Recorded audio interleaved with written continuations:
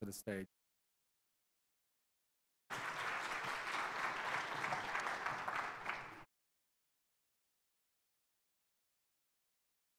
Good morning. Uh, thanks, Tom, for the very kind introduction. It's been uh, it's been really wonderful to uh, partner with Aldevron and also make relationships with the extended network of clients that Aldevron works. Um, so today I want to focus my story on thinking about precision with genome editing. And uh, we're part of a number of networks uh, and national initiatives. One is uh, called CMAT, Cell Manufacturing Technology Center, funded by and supported by NSF and a, a consortium of industry partners. Also, uh, a newly, a relatively new effort at NIH called Somatic Cell Genome Editing Initiative. So we're part of two awards in the first round there that are looking to uh, profile adverse events upon the introduction of editors in vivo and also new delivery strategies to deliver editors. So uh, I want to jump right in and uh, talk about how we think about precision. We laid this out in a recent opinion piece, and um, we heard already earlier today about uh, off-target edit editor, editing at loci other than the uh, diseased allele. Another number two here is uh, the idea of inserting a piece of DNA uh, at the correct place and uh, perhaps preventing the formation of other insertions and deletions at the target site. And that's going to be the focus of my talk uh, today. Uh, there's another concept here uh, number three of uh, making sure that the edited allele is properly and precisely expressed um, as you intend to. And uh, one of my students, Nicole Piscopo, will be talking about some of our efforts there in T cells. And number four is getting the editor to the right uh, cell or tissue of interest. And a number of ways you could, we just heard about um, evolving viruses perhaps to get you to the right place. But you can, we're, we're interested in non-viral approaches to deliver the editor right cell. And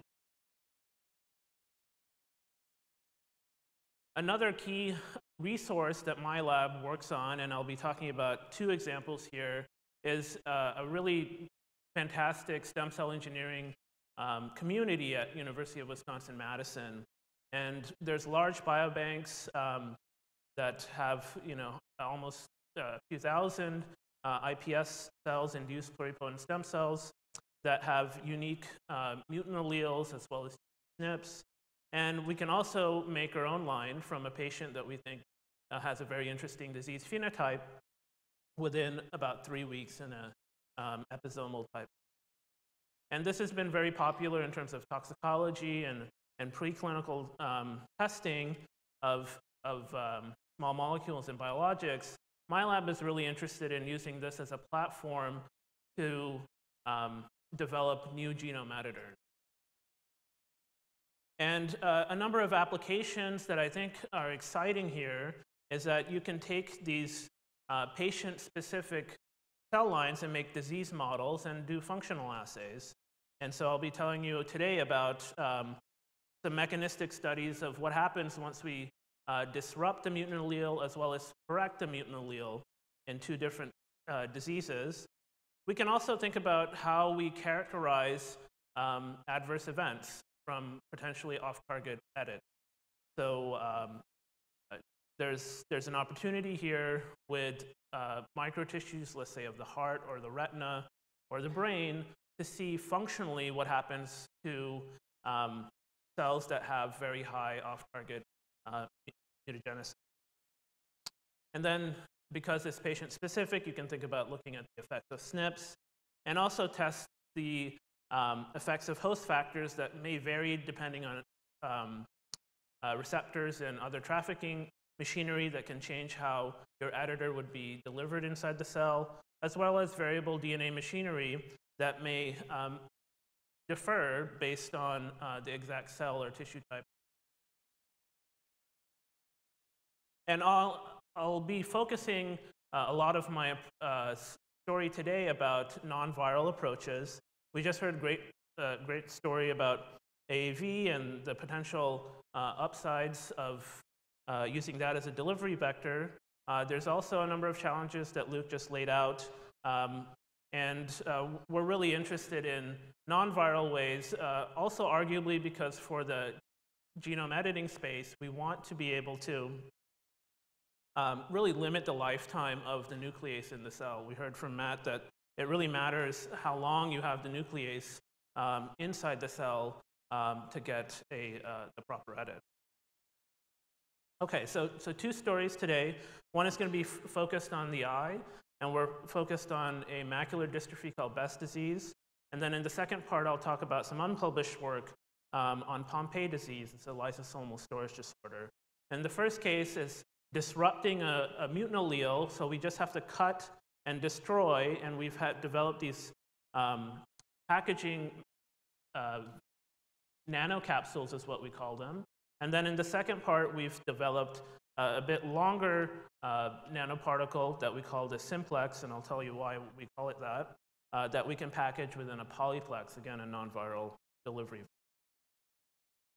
So we, um, the retina has very diverse causes of uh, inherited um, disease, and uh, I don't have a pointer, but in the lower uh, green, there's best one that's in, been implicated in, in, in in many patients. And it's the um, second most common inherited form of uh, vision loss um, that you can point to a single gene.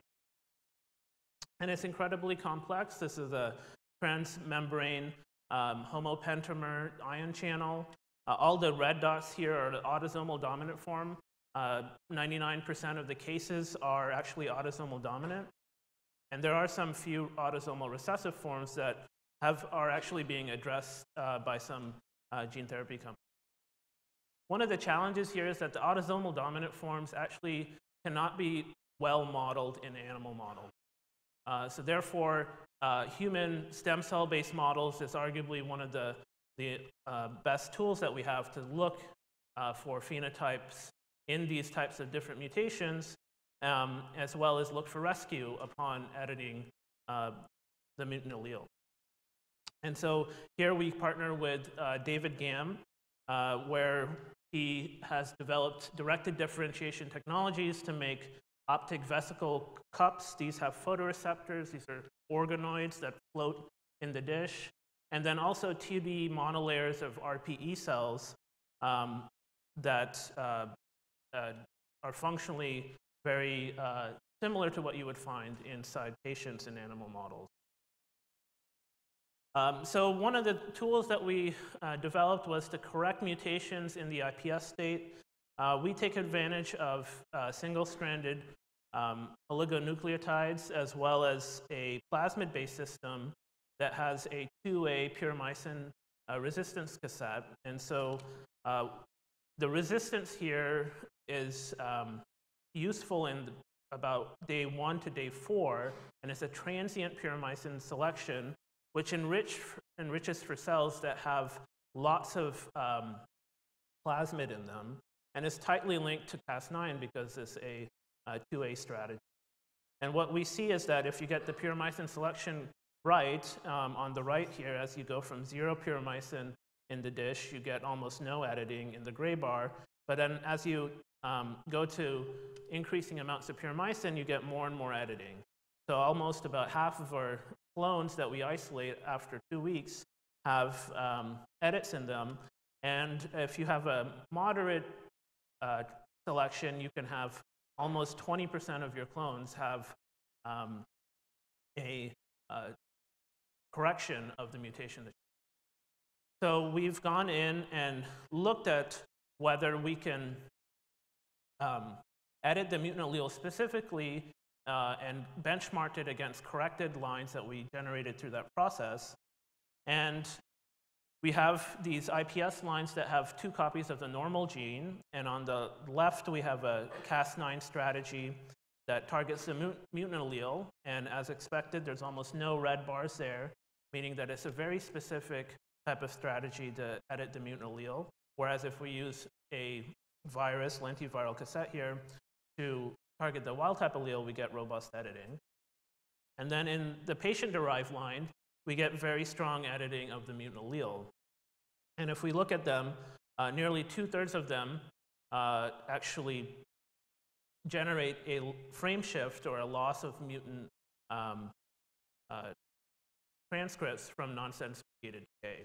We've actually looked at this in different cell types generated from iPS cells and in the mature um, directed differentiated RPE tissue.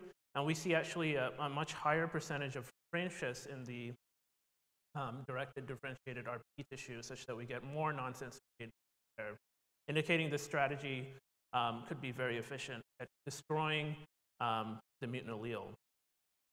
We have also done single cell RNA-seq um, on these types of tissues. In this case, it's a uh, organoid, and um, on the left is a tsne plot um, generated from the 10x genomics platform. And you can see we have cones, we have rods, photoreceptors, and we have a few other cell types. And when we express the genome editor, we actually don't see any appreciable um, transcriptional change uh, that deviates from what you would see um, in the unedited um, And so we're, we're increasingly profiling these types of strategies to specifically see what happens when we perturb the mutant allele. Um, and as I mentioned, we, we've used viral vectors as a tool there to discover um, how, how far we can destroy the mutant allele, but we'd really like to be able to deliver um, the cutting machinery without the virus. And here we've developed a really thin nanocapsule that falls apart inside the cell. That's um, very small disulfide bonds that may be hard to see in the purple shell there. And we can also uh, decorate the um, nanocapsule with various targeting ligands. That's the um, triangles on the cartoon. And what we've done is we've started some in vivo experiments that we're just finishing um, characterizing. And we've in injected these into the back of the, eye. Uh, again, we're looking at Best disease where we want to edit the mutant allele. And we've uh, done it in this reporter mouse that if you, do, if you have successful gene editing, you would see a, a red signal because we're excising a stop cassette in, in these uh, mice. And you'll see the, the eyes here after two weeks of delivery of our nanocapsules that have been flat mounted um, into these uh, And so on the top here is the delivery of a nanocapsule that has no targeting ligand. And um, within the injection bleb, which is in the circle, we see very high editing, lots of uh, TD tomato expression. And then uh, in the bottom panel here, is one that's decorated with a ligand that uh, targets to RPE, and we see even more editing and within our bleb there. And so locally, we can get um, up to 50 to 70% of cells edited, and in these types of uh, scenarios where you really only need to fix a small part of the retina, the RPE, for best disease, we're, we're excited forward.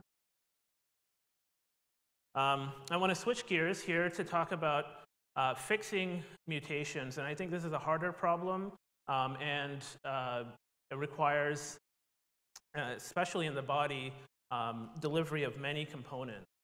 And so uh, we, we talked about, uh, at least Matt also introduced this idea that you can have these short oligonucleotide templates where you can go from um, either uh, NEGJ and end joining or homology directed repair and this is an example of the types of outcomes we get when we try to knock in a cassette in blue.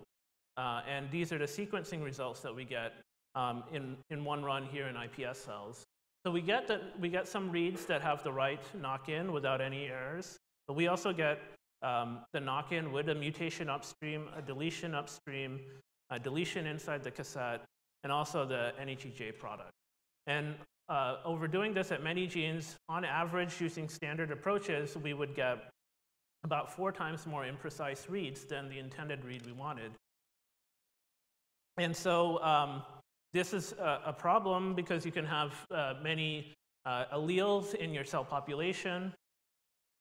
And uh, we thought rather than delivering everything um, in, uh, in the electroporation cuvette separately, um, having the RNP and the donor template not linked, could we link it somehow? And what we did is we added an aptamer called S1M um, to the guide RNA that can act like biotin, and therefore streptavidin, which has a high affinity to biotin, can bring in um, the donor DNA template that has biotin.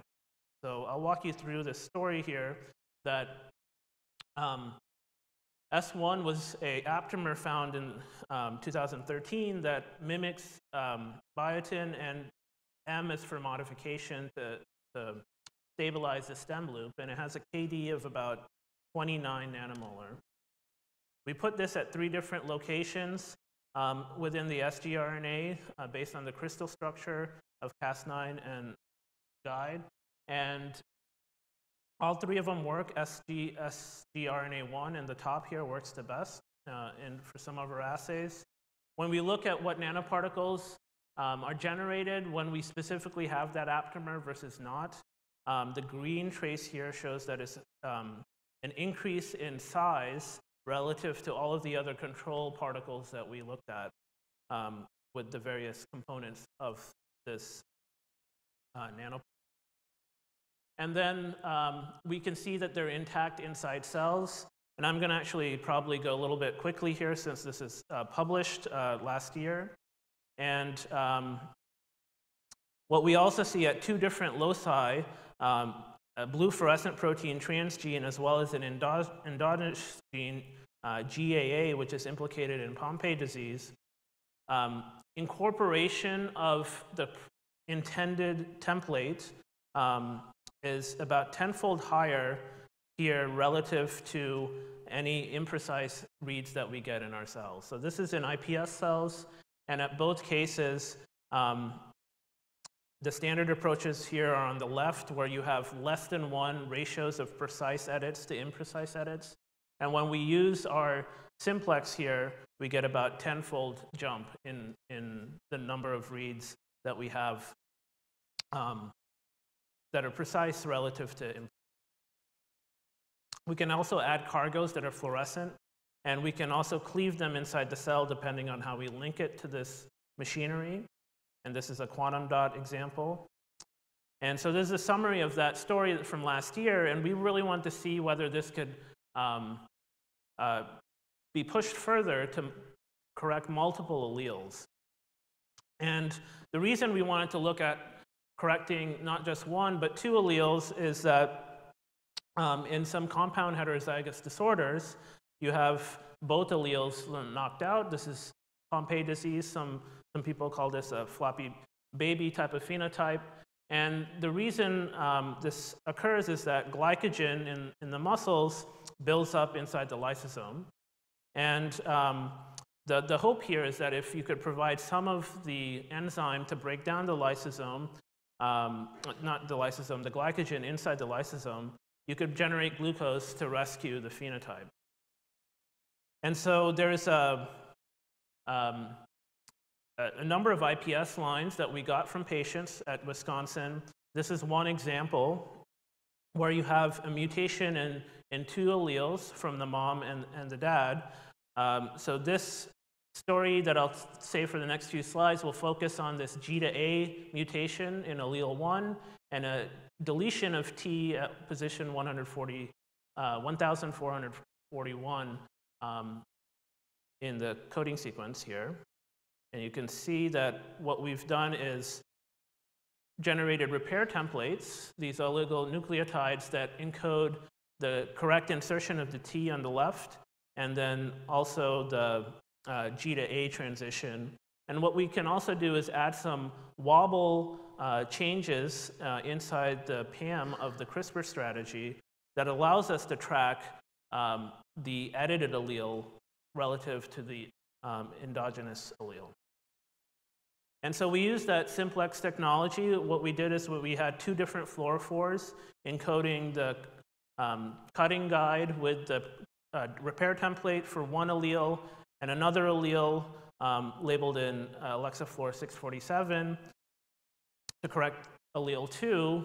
And we uh, looked for phenotype rescue. Because the lysosome pH is sensitive to the activity of the correct uh, GAA, we can look for clones that um, have the proper rescue of at least a lysosomal pH.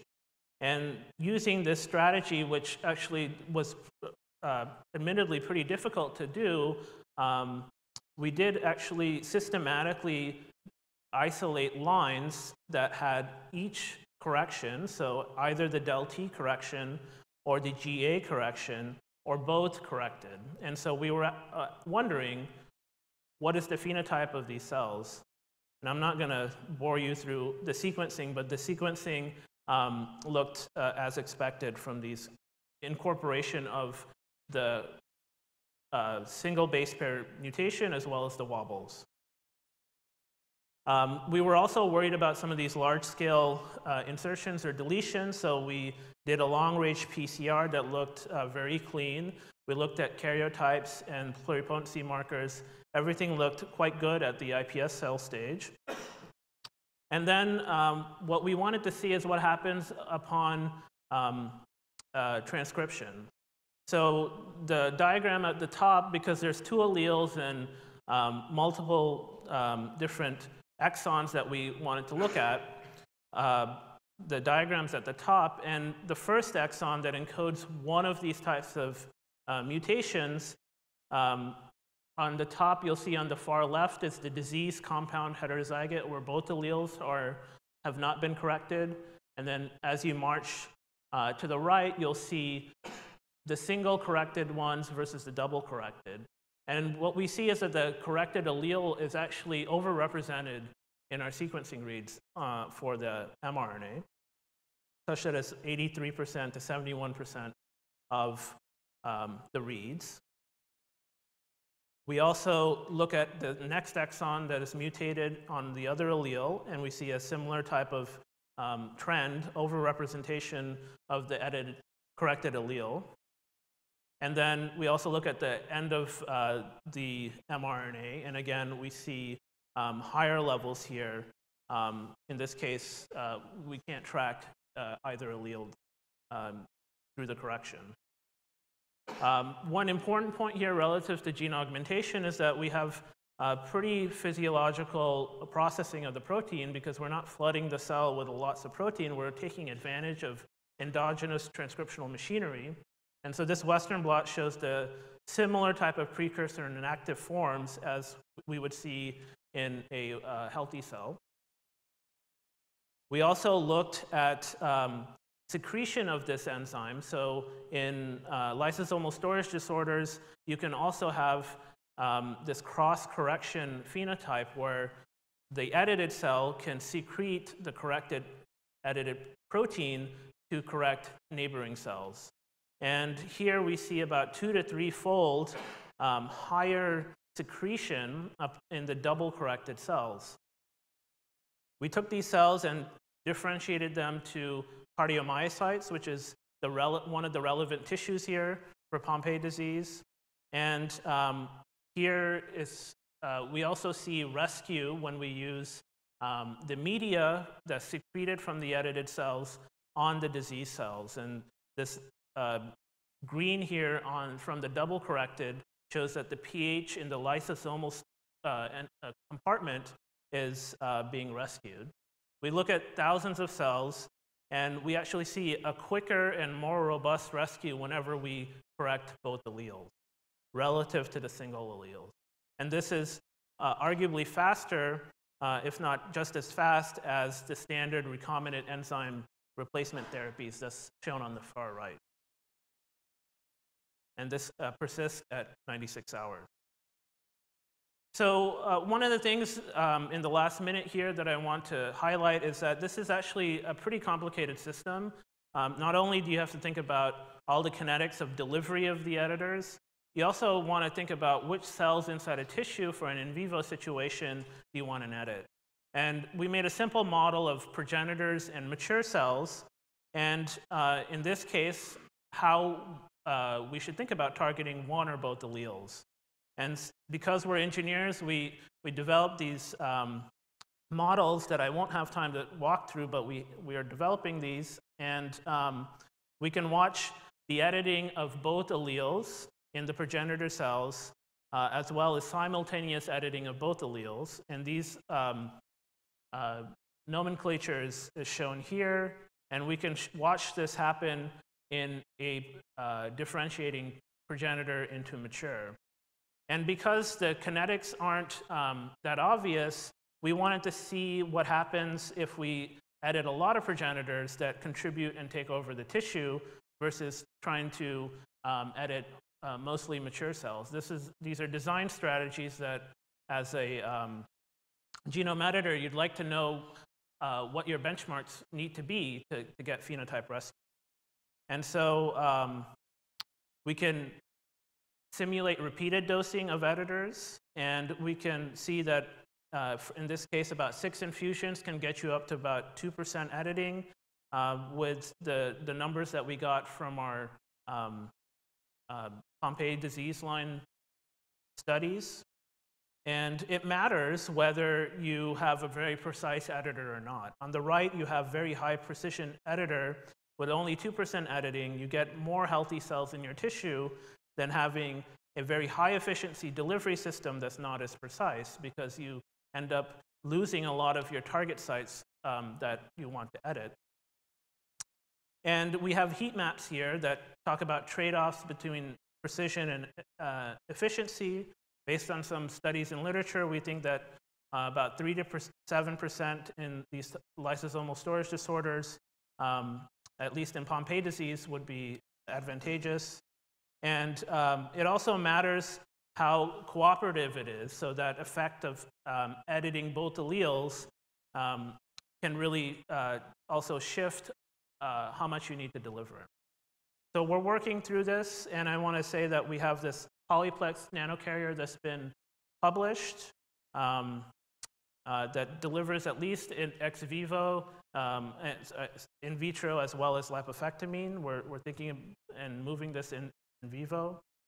And uh, lastly, I want to highlight my students' um, work on CAR T cells uh, for poster 108. Nicole, she's been uh, really uh, pioneering all of the work on trying to move some of these genome editing technologies in patient-derived T cells.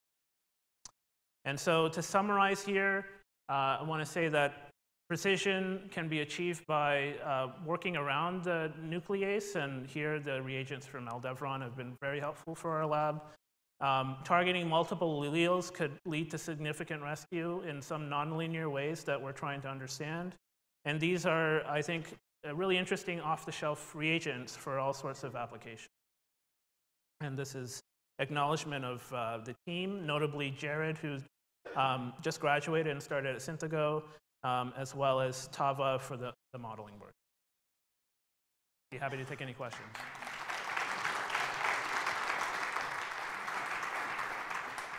Thanks, thanks, Chris. I'm gonna come up here for the, the Q and A. Um, so please step up to the to the mics if you have any specific uh, questions. Chris, uh, one thing I wanted to ask Chris a little bit about is delivery. Uh, no matter what conference you go to, um, delivering these things, especially in vivo, is something that always comes up. There are there are ways that our people are figuring out for ex vivo how to do it. Learned about that from Matt. But can you talk a little bit about a little bit more about those the nano capsules? And is there any precedent relative to using those actually format um, that you can maybe talk a little bit more about? Yeah, so so the nanocapsules um, have a chemistry that's actually nucleated on the surface of the protein. Uh, so they're actually a very thin shell, um, are about less, around 10 nanometers. So the Cas9 RNP is about 8 nanometers or so. This adds about another. So it's around the 20 nanometer range. And I think that's, um, you know, uh, almost an order of magnitude lower than some of the lipid-based uh, larger um, liposomal delivery strategies. So that could have some advantages in dense tissues, particularly the brain is something that we're excited about. Um, and also, there's some chemistry advantages uh, for what we have that um, we could put peptides, we could put um, uh, small molecules using standard bioconjugate. Uh, but it is a hard challenge. I mean, I think we're, we're focused on applications where we only need the nuclease around, arguably for a few hours, maybe a, days. Um, and uh, I really like the protein-based system because um, you don't have persistent expression um, that you would have versus viral strategies uh, that could lead to off-target. And so in some applications, I think non-viral is, is quite exciting. I think the best disease scenario in particular is one that we're excited about. Um, but in others where you have maybe a loci that's much harder to cut and you need longer duration, a viral approach would be probably better. Just a quick question. Thank you very much for a nice presentation. I'm wondering about the size limit in these carriers. You have a limit of gene that you can deliver? And second, can you talk about manufacturing complexities of these entities? Thank you. Sorry, the, the second part was back. Yeah, just, just to manufacture these Yeah. things on large scale for Okay. applications. Thank yeah, you. so uh, the first question about capacity, the nanocapsule, because it's really nucleated, I would argue, on the protein, um, it, it hasn't been easy to incorporate extra components like the simplex that I talked about, and that's why we've developed this larger polyplex um, that's on the order of about 100 to, to accommodate the, the template as well as the streptavidin. Um, and then the second question about manufacturing, I, I think, you know, many of the monomers are just standard um, uh, PEG and acrylic acid and, and things that um, should not be difficult to scale.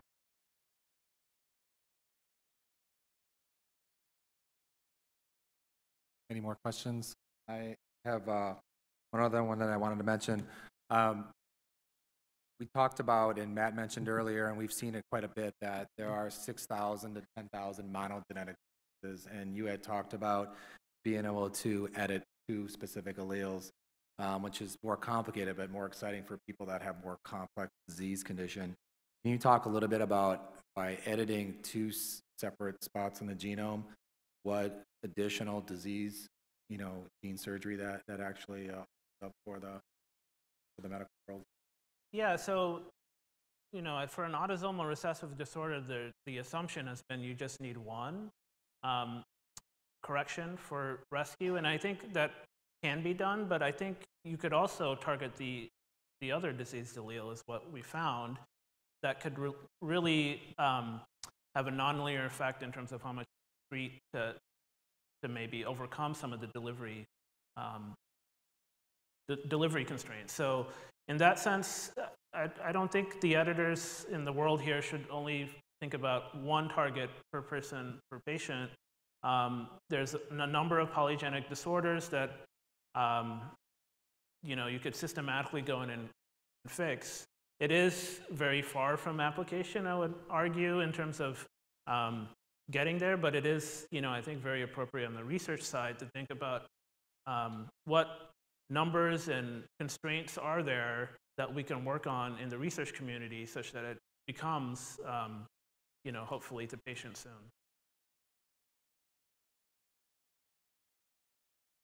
Um, Maybe, maybe one last um, question. Um, During the previous years, we talked a little bit about how you're trying to apply this specifically to CAR therapy or CAR T therapy and, and, and the work that's being done at University of Wisconsin. Um, Can you talk a little bit about, more about that? You talked about um, your graduate student also connecting with the group there. What, what's happening actually at the University of Wisconsin as it relates to how you're trying to bring this act- Yeah, so uh, as you heard today, um, I didn't have time to go into the T cell story. That's a little bit on purpose because I knew Michelle, uh, Nicole could talk at the poster session about it. Um, we have a pretty growing community at Wisconsin of clinicians. We are one of the sites that does Kymriah infusion, so um, there's a lot of know-how, I think, in terms of on the clinical side of how to apply it. Um, we heard, I think, a very accurate uh, description of the manufacturing challenges, and this uh, CMAT center Um, we're thinking about new technologies to think about that intra um, uh, patient heterogeneity that I think we could have new technologies, potency sensors, new transduction methods, modification methods um, that could address that challenge. Um, certainly, the the, the timescales are shrinking, so you know there's new paradigms I think that we're excited about exploring at. There's no other questions. Uh, Can give a round of applause for Chris, please?